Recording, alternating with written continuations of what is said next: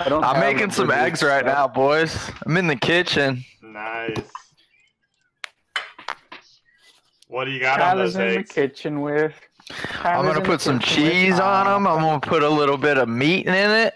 I'm gonna put a little uh, salt and pepper.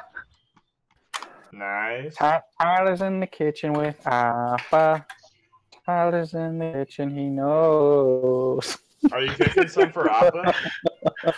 I'll probably give him some. I mean, I give him every single fucking thing that I ever eat in my life, minus chocolate and grapes. And And dip. chop. Yeah, child. Oh, great minds. And I don't eat chair.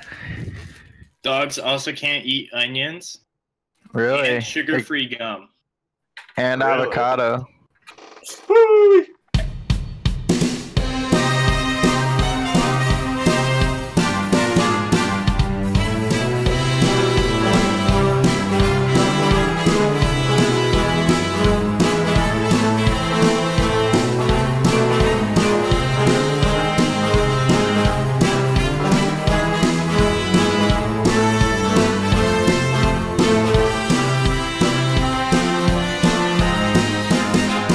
Hey, what's going on? This is Shanman XC with the OGSP YouTube channel, uh, and welcome to episode four of Scrub Watch, a console players podcast um, for Blizzard's Overwatch.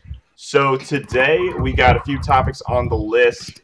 Um, I'm gonna let my uh, fellow co-host Bobby kick us right off with topic number one. Bobby, why don't you read it on down, boy? Yo, what up, dude? Um, so What the first topic is definitely going to be Genji's hitbox and how huge it is. It's literally the hugest. It's huge. We could And have I built just a think, wall. you know, that it's a little, it's a little annoying playing against when like you're going for someone else and then you try and shoot and then a reflecting Genji comes out of nowhere and it's not even you're not even aimed at them and it's it gets reflected. So is it being? I don't. I, I actually don't know anything about this. Is it being enlarged? It's no, like the it's size already of huge, like, Roadhog. Yeah, it's really big, and like Oh. it's it's even like behind them. Like I've seen videos of people shooting at a Genji when he's reflecting, and it's behind him, and it still gets reflected somehow.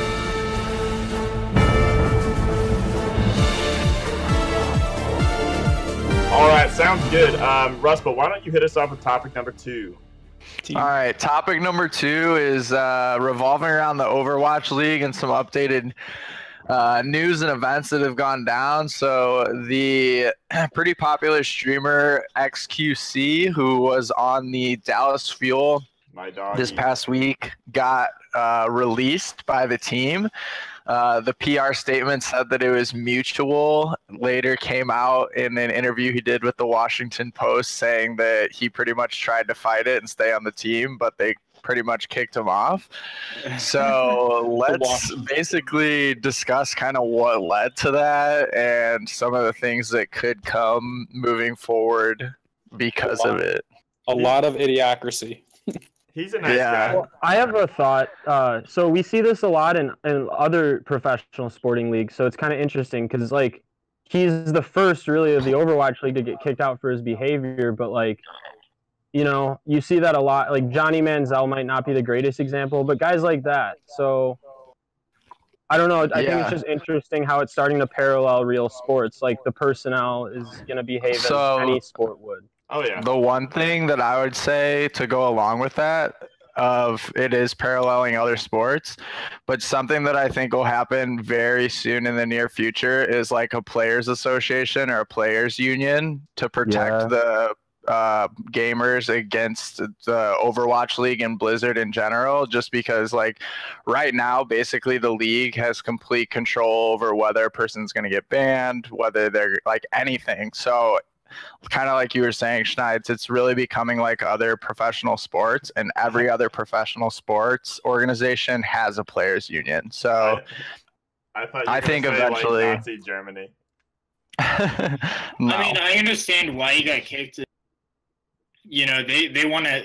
They have a PR, like they have a public reputation now. It's not just them Yeah, playing for just sure. nonchalant. I don't like I don't like the last thing he did to get banned though. Like spamming Yeah. the try hard seven. That was like really stupid to ban somebody on or like the main cause or I, whatever. yeah, that Towards was end. not ban worthy at all because Can like, what he that came is out. for our viewers? Yeah, I don't know. yeah, so is either. basic basically when he in the Overwatch League cast when they were casting the matches, one of the analysts or hosts was on who is African American.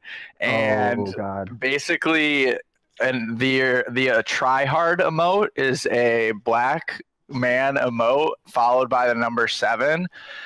And they basically correlated him posting that while that analyst was on as him being racist. And boy. even in the ban they said that it was for racial like slurs or racial usage in the Overwatch League broadcast but I really think that they messed up big time in doing so because like there's so much evidence to support that that wasn't what it was meant for. Like I was watching XQC's stream the other day and he basically said that from when it started until now, Overwatch League, he's put the tryhard 7 emote like 180 times in the chat.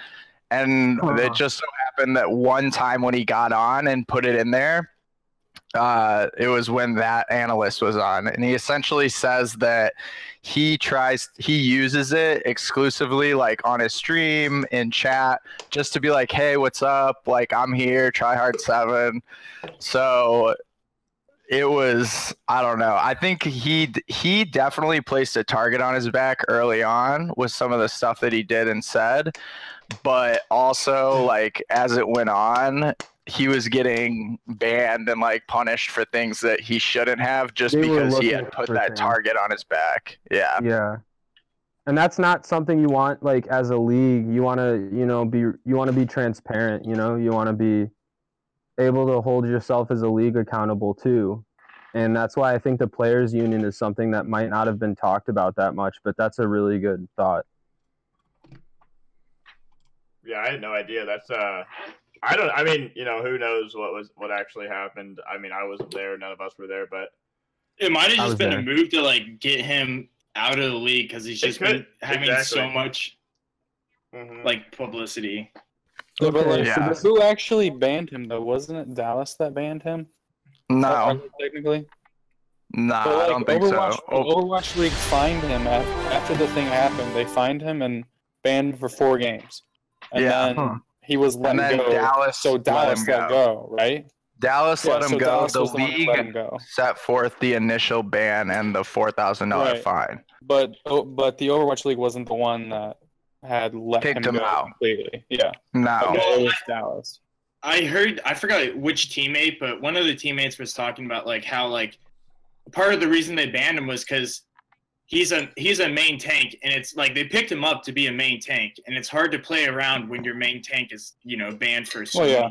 streaming. Yeah, I think it was Custa on his oh, stream. Yeah, he yeah, was right. basically saying like we tried like he's such an integral part. The main tank role is such an integral part of the dive comp especially nowadays.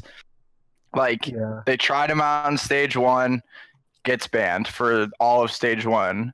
They start practicing like really hard with him to start stage two try to get like really good as a team and then he gets banned again so it's like you can't really do anything as a team if the one person that like you're really trying to build around which is their main tank continues to like be a question mark or up in the air Yeah. So I, I understand that from Dallas's point of view, yeah for but sure it's still like I he could have gone out a better way, and that's just For sure. kinda- I don't know. Yeah. I'm just Yeah, I there there are rumors that he may be signing with the San Francisco Shock, or he may just be like chilling I, and only I think he's just gonna stream. I mean, he'd be stupid to try and do it again. yeah. Uh, the other day when he was a lot of money streaming, the other day when he was streaming in the uh like the quick chat or like the chat on the bottom left Danteh like messaged him and was like when are you signing with us and then he was like oh shit you're streaming cut the vod but he could it's probably just a troll It's knowing like joke or something. xqc yeah, yeah Uh, I was I was gonna say one more thing, even though it's been a long topic, but I I would say like uh, a better example is like Aldon Smith. As you guys know, we went to Missouri. he was one of those guys that was like such a talented player, and I don't think he's in the league anymore. So, what are you guys' thoughts on what Dallas, how Dallas will do in the in the future? Even though they've, I mean, this week without XQC, they they lost. I think they're gonna continue to like. I think they're gonna pretty much take the original MVS team and just break them all apart and re-sign a bunch of people. Like the there's rumors, the same person that initially got the info on XQC being released also said that he got uh, information from the same source saying that they're looking to release Taimou and Cocco. So I could see them. Oh I God. could see them getting rid of definitely Rebuild? Cocco. Yeah, Cocco. That's a hard rebuild. Definitely Yeah, I mean- Cocco.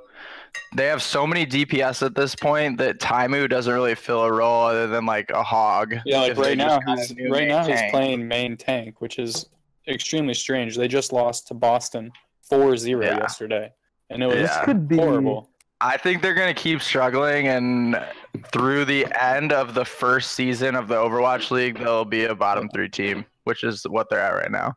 Right. I think could they're just a mixing leg- up roles too much. Like Yeah, they they're are. doing Taimou on tank, which I understand because he's a shot caller, but like you gotta So do you, you- gotta put Taimou on like something good. They just need a You better it's- shot caller. Do you think it's Kyky's fault then, like the their coach? Nah, I don't think I it's think- his fault. I think one thing that they do, and this goes along with um, like switching things up too much, they just need to settle on one consistent composition. Like right now, the meta is dive, and all teams pretty much run dive, with the exception of like a few things changed in and out. Like they will come in with like just an insane comp, and they'll run it really well, but in the long run, throughout an entire match, they'll just get destroyed because they can't run the most standard meta comp and they'll lose. Like, well, they EnVyUs has need to never been known for dive though. yeah, but I think it's really showing that they can't, like, they can't run these standard comps. Yeah, I mean it's still so young overall. I I think that we'll definitely see new players emerge. I mean, you know. Yeah, that's a Yeah, like, podcast on its own right. Oh yeah. Right. Yeah, that's why I wanted to bring it up at least Yeah, a little no, bit here. I didn't like. You know, and I ask I ask any of our couple of viewers, uh, like, do you like this Overwatch League content? Because I think it's pretty fun to talk about. I mean, I'm a big sports fan. We, I'm sure we all are, uh, and we know a lot about sports. And I just think it's interesting to study this because this is really one of the first of its kind. And we're probably going to start seeing more personnel shift because we're not. It's the first season. We're not used to personnel shifting a lot. But like, you know, are trades allowed? I don't even know. But that's another interesting topic. Yeah, trades are allowed. Yeah, so I think we're gonna start once once more people start to change up their personnel. I think we'll start to see it, you know, evolve a lot more to where if something's not working, teams aren't gonna wait as long to fix it.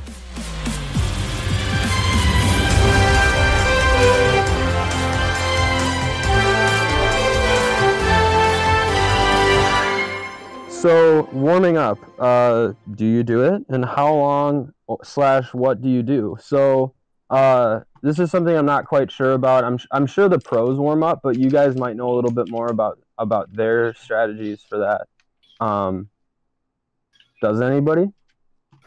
I don't warm up in Overwatch, but when I played CS:GO, I would always warm up, and I I don't know if that's just because it's more aim intensive or Did it help you? Oh yeah for sure.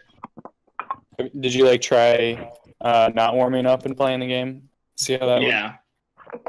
I would try like just in CS:GO, but like Yeah. Yeah. it's just warming up, like knowing how far to flick, and this might be different like for PC, but Yeah, Yeah. I- I, think it also depends a lot on your role in the team. Like if you're a DPS player, you're definitely gonna have like it would de- definitely be more helpful. For sure. Those I'd say. fast Twitch characters, like I definitely a want to get around Smurf. them before I play Tracer. Yeah, a Smurf I mean, is good. talking about I know Schneids, you reference like what the pros do. I think be, like every single one of them warm up for sure. They'll Oh, go to yeah, like I the mean- practice range. They'll do the same routine that they do. There was like a actually a special on Effect who ironically plays on the fuel, which is what we were just talking about. But his entire practice routine they highlighted like probably last week on the Overwatch League, where he'll do. He comes in early before everybody. He does an hour's worth of uh, aim. Like I think it's I forget what the exact. Yeah, yeah, yeah, yeah. So he does it, which is basically like an aim assist. Like it helps your aim online Have application. then he does 30 game? minutes of like aim hero. Then he does like 30 minutes in the training with the bots. And then he does like an hour's worth of just AI against him. And then he basically goes into a match. So he literally warms up for like two fucking hours on his aim. Have you guys played Osu? No. No, I haven't. I don't know. what that it is, looks so it? tough. Yeah, I've played it. It's pretty tough. I played a little bit of it though. The real But do you think that translates into like actual gameplay? I don't think Osu does. Nah, I think it mostly just gets your like hand Yeah, eye, get your hands. hand Is that eye like ready. program? Yeah, I Don't think it. Yeah, that. yeah. It definitely warms you up, like your hands and stuff, and yeah, your hand-eye coordination. But it has nothing to do like it's completely different like uh, movements than Overwatch. My Yeah. warm up is dependent on if I take my Adderall before playing or not. Uh, if I do, I usually don't warm up. Le- Same If with I that. of course. don't, I just lose. Legally, I have a prescription. Uh, legitimately. I know I always sound like I'm uh, sketchy when I'm talking, but I actually do. I do a lot of illegal drugs as well, but not that. Um, yeah, but All that was a joke. brings us that was satire. Just satire. all in all in good good fun. Um, so which brings us to our main topic. Um, we, so we're a little bit light on news, you know, after last week with um, the new character and everything like that. Um, so this week, I just wanted to everyone to kind of um, give a short summary of their introduction to Overwatch. So their, you know, first uh, few hours into the game, how you came about it, how you heard of it. Um, I know a lot of us share the same story um, as we started together. Rustbolt got it first, but No, that's um, thought Joe got. Well, it. Joe actually Yeah, got, got okay. it first. correct. Joe's So- friend I can start if you want. yeah, go ahead. Joe. go ahead. We'll go in Obviously, you guys said it. Big shout out to Joe McKenna, who no longer plays the game on the PlayStation, but Yeah. he uh, he plays on PC now. But basically, he messaged in our group and was like, "Yo, there's this cool game that's gotten good reviews. Do you guys want to try it out?" Because pretty much all five of us and Joe, uh, I guess not Bobby too much, but in college we all kind of like rotated through games, whether it be on Got PlayStation 2, Gauntlet, Mario Tennis on N64. Ooh, like Mario all of us Tennis, were we put thousands of hours into. Yeah, all of us were really competitive when it came to like gaming against each other. So the thought of getting another like really good team-based game that we could all play together, Joe found it. And Shannon, with his Best Buy skills, went ahead and ordered it for me to pick up at my nearest Best Buy. and I went and picked it up, and pretty much we went from there. I think a lot of us were playing, at least uh, speaking for myself, I was playing a lot of Rocket League then. And when I first got Overwatch, I thought it was pretty cool, but I was still playing more Rocket League, I'd say. And then it slowly transitioned to playing way more Overwatch Once and way got it. less Rocket League. Yeah, and then Yeah. I think pretty much all of us except for Bobby have been here since season one. So Oh, I remember when we first got it. Like everyone would play except Russ Rustbolt, and Rustbolt would be on Rocket League. Rocket League, yeah. oh man. Yeah, That's it was fun. definitely um cool. I remember picking it up, yeah, at Best Buy, and you know, just rotating through each and every hero. You know, just doing quick plays and uh, just how unique you know it was. It's just like a, a fighting game turned into a shooter. First Blizzard game since StarCraft Two, which I you know kind of played, not really competitively. Just you know, me and a friend played it, but uh, I you know we just kind of gained momentum as picking up more uh, people to play with, and it has turned into this. Bobby, how did uh how, I, I forget when you joined. You can go I joined We should go right in before order. the uprising event. Oh, okay. Wait, right before the uprising event. Yeah, that was my Okay. first event. So it was basically like a year after the game came out. Okay, so I know I got the game July sixth, July sixteenth, my mom's birthday. I got the game that day. Shannon worked at Best Buy, uh, Used to and so formerly. used to, and so he got me a copy. But I remember being skeptical for a while. Uh, I didn't join right away because I had never really like I. I mean, I played Halo, Gears of War is a favorite. I played shooters, but never like uber competitively. And I always, I mean, I always usually preferred open world games. Morrowind, shout out. Uh, and so I was skeptical, and I remember Shannon came over, and he's like, "Dude, like it's pretty cool." And I watched him play. Played Junkrat was my first uh, hero, but I was very Nice. skeptical. And then now look at me now. I have uh, 1370, 1375 hours on my main account. Uh, many more on the other ones, and I'm still uh, I'm okay. But uh, I don't know. I really like I think you I have the really most like- on the out of all of us, the most hours. yeah, by far. Yeah, Like, for sure. Shout out to that Uh, Adderall prescription. what I really what drew me to the game having massive ADD is um it's it's not like a typical Call of Duty shooter that where I would get bored because it's just like a bunch of fucking 10-year-olds uh just being little bitches. Like there's that in Overwatch, but I like the variety and I like kind of how it's like X-Men it's like an X-Men shooter is how I describe it. But Yeah, Yeah. that's how I got so into it. much more depth than a Call of Duty. So much more you can get, you know, out of it. I would say. You And can I th- invoke your personality into it. Like Yeah, I think I speak for all of us too. Is one big thing that kind of kept us all like wanting to keep playing, wanting to like get better, is at least for me in all other games compared to Overwatch. Like Overwatch has such a good community. Granted, you get like toxic players, but I'm more so talking like outside of the game. Blizzard does such Yeah. a good job of like making changes keeping you informed the overwatch league like there's so much stuff outside of the game too that really like keeps you wanting to play the game i'd say I would, yeah, definitely agree. Do you think that's bad for beginners though? Like how much they changed the game? uh Because I know with like some people who are lower levels, like they don't even know about the updates and like what the what it means for them. And like if they get changes every every month, like Mercy, like people who haven't played in a week or whatever, once that update comes out, like that's a huge difference. And You like gotta they have to up. relearn the character pretty much. yeah that is a really good point i i'd agree on that it makes it tougher It for sure It, does. It's. I mean, obviously, if Don't you're they, not uh, playing every week, then it polarizes. Living Sorry, with go ahead. When you when you update the game and you load it up, don't they typically have like a little sheet that says updates or something, or is that only for events? on pc only I don't think yeah, yeah, yeah. but like when you on the load up the pc game- you can view the patch notes and stuff but n- not the patch notes, but like a like a little dialogue box that pops up that just shows the major things that happen. I think that's only for events that I'm thinking of. That pops Yeah, up I'm in the sure. game, like not outside in the um, Bl- BNet or Battle.net thing.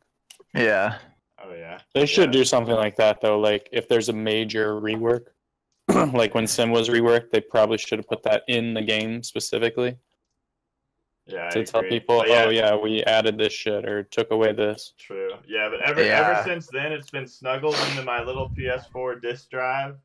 Yeah. Yeah. Oh yeah.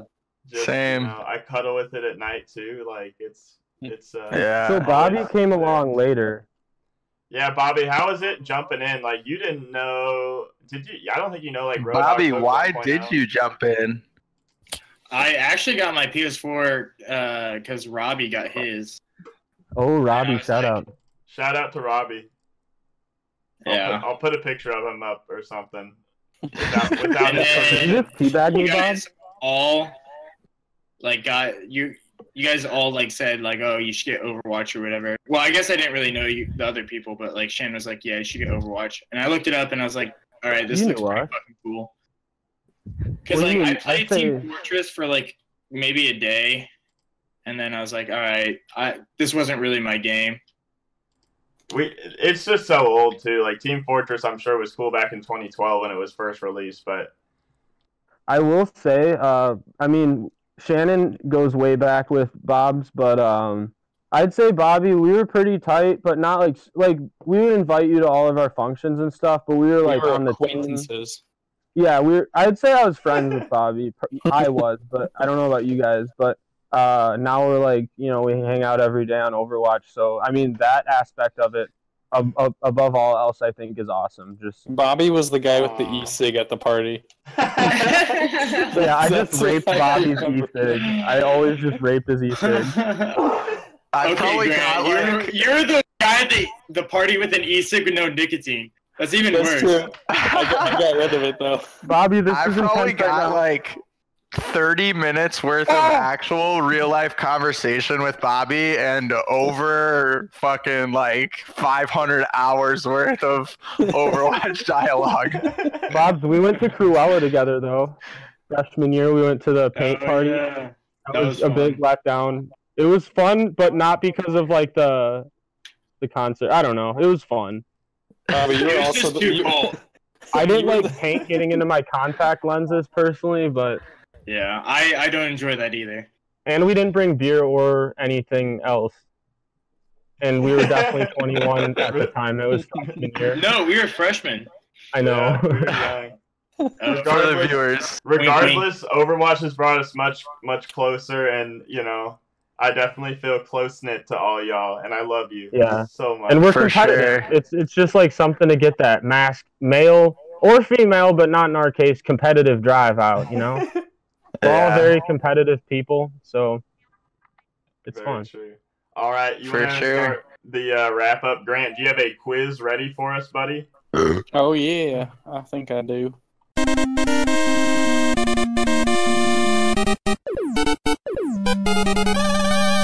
All right, this goes to uh, Rustbolt because he's the last one. to Oh boy. The quiz question. All right, so since you guys requested for a map-related question, this is map-related. There are currently, I believe, 17 maps in Overwatch, not including the arcade modes. There are two maps that you cannot get an environmental kill or die to the Ooh, environment. That's What a are really they? good question. Uh, Temple of Anubis. Correct. And Oh man, hold on. Give me a is it? sec. Oh wait, no, not that I'm, one. I'm Kinda- going through them in my head. I'm not gonna say Um, We'll give it's you. gotta be a payload. We'll give you one more minute, starting now. Minute, All right. man. 30 seconds. It's a it is a tough question. It, it is a tough question, but there's 17. You should be able to go through them. Damn, if I I, would had say- a list of all the maps, I would easily be able to get it it. safe to Uh, eliminate the control points? I don't know. Can you? I'm trying to think. No Ilios, no Nepal, Lijiang has it. no Lijiang, no. I don't oh, want to Kings be Row. No, just kidding, Nope. just kidding. Not Kings Row, not Kings Row. Okay. Kings answer. Row is You didn't eliminated. Eichenwalde's eliminated. Numbani's eliminated. Temple of Anubis You have is. 25 seconds. All right, I'm gonna oh. help. Oh boy. I want to on, get Hold this. on. I want you to get it because I have a follow up. Yeah, yeah. Oh, Give me, give me, Don't give me a say sec. Anything. Not watch point. All right, you have 10 seconds. Oh boy. Uh oh, pressure's on. Oh wait. Uh, I know what it is. No. Well, um. So it's not Numbani. I'm giving you the buzzer, by the It's way. not- go ahead. yeah, he missed it. Volskaya. You don't All right, you I don't give up. Give it up. Hollywood. Ah, what is Hollywood and Route 66 literally didn't even cross Oh. my mind because fuck those Yeah. maps. Well, Root has it. Hollywood. Damn. All right. yeah. What was the follow Good up? question, The, the follow, yeah, thanks. The uh, follow-up question was: there are four. Uh, what are those maps? The additional maps, the arcade maps. There's four of them. Which one of those can you not get an environment? Ooh. That's easy. Uh, But it should be Eco easier. Point. Yep. Ecopoint and Is there two? nope. There's only one. I feel like Yeah. half the time I've played Overwatch, to go back to the warming up thing, like Ecopoint was big for my development personally. Like back when it was the only map you could play, Yeah. Oh, yeah. but now it sucks. True. Alrighty. Um, so j- just because this is a young podcast, it's evolving. I thought I'd add a little new section. Um, Oh, nice. Obviously, and if, I might give it to one of you guys to take over, but it's it's just going to be a little poll, and maybe once we get a growing viewership, we might involve the community. But for now, I just wanted it between it to be between us. And to follow our map related theme today, I wanted to ask everybody's favorite uh, control point map, starting with uh, Stein's- Control point? Oh Are you, boy. are you talking a specific map, or are you I'm talking? talking only whole control thing? points. You so you I know, have but Li, like- Lijiang, Oasis, Nepal, or Ilios. but not their sub category. Or All right, that's fine. In- including Those all four. subs, yeah, including all subs. So Okay. includes all subs. So we'll, we'll start with Schneids and we'll go down our uh, list on Discord. oh, okay. Well, I think I make no secret of being a huge Lijiang Tower fan. Uh, do I have to say why or just what it is? Yeah, just what it is. I mean, you can say why. You can say why. I just I play. I mean, I play D.Va. I like I like uh, a lot of characters. I think that do well on Lijiang, and I just like the atmosphere. I've always been a city guy, and I just like the, how it's a darker map. I don't know. It's a great map. Yeah, I like it being at nighttime as well. All right, Grant, go ahead. Um, my, I would say Ilios, but there's a map I absolutely hate on it, so I can't. Yeah, Um, with it's the that- one without boobs. Yeah, and with that, I'm gonna have to say Lijiang because I mean it's a well done map and For sure. it's amazing. All right, And you can go clubbing afterwards.